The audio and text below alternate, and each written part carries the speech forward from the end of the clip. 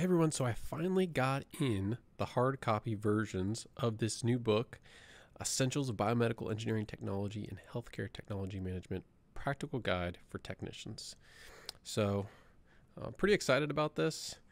And let me show you some of the reasons that I wanted to even write this book in the first place, because there are a lot of decent resources out there for biomedical technicians. And but why did I choose to write this? You know, what was my motivation for actually coming up with this book? Well, number one, I really wanted to give a good explanation for the difference between biomedical engineering and biomedical engineering technology. I just thought there was, uh, you know, some something that needed to be said about the difference and the nomenclature that we use in this field: HTM, BMET, biomed, all this different stuff.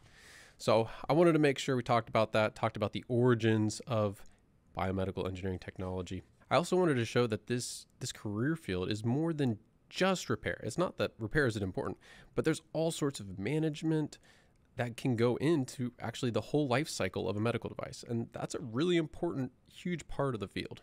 And perhaps this is the most important reason that I actually wanted to write a textbook. And I wanted a chapter dedicated to troubleshooting technology, right? So I wanted to really cover some of the fundamentals of how do we troubleshoot technology, not just electronics, but technology in general. I wanted to make sure that there was a good chapter on biomedical devices and regulations that are applicable to repair and maintenance of equipment, right? So uh, I spent a decent amount of time making sure that I cover all the NFPA 99 and ISO standards that, that might be relevant to this career field. Um, I also wanted to make sure there was a chapter on ethics. I think this is really important, having an understanding about why it's important and how do we think about things in terms of our in terms of values in terms of uh, certain dilemmas that you might find as a biomedical technician. I also wanted to make sure that there was detailed images of, you know, important testing conditions and procedures.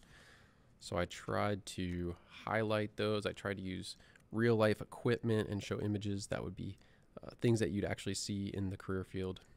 Right, so from anesthesia units, patient monitors, suction pumps, ESUs. So, you know, I'm hoping this is a good resource for uh, mainly students who are just getting into the field, but perhaps technicians who are coming from a different career field who want to just have some background and touch base with some basics and fundamentals of the career field. So, very excited, and uh, thanks for everyone who supported the project. This one's actually been received so well, I'm already planning a new book on medical equipment networking and security. So, uh, stay posted for that. Probably come out sometime this year. And of course, if you want to pick up a copy of this, you can get this on the website htm workshop.com. I'll go ahead and put a link in the description.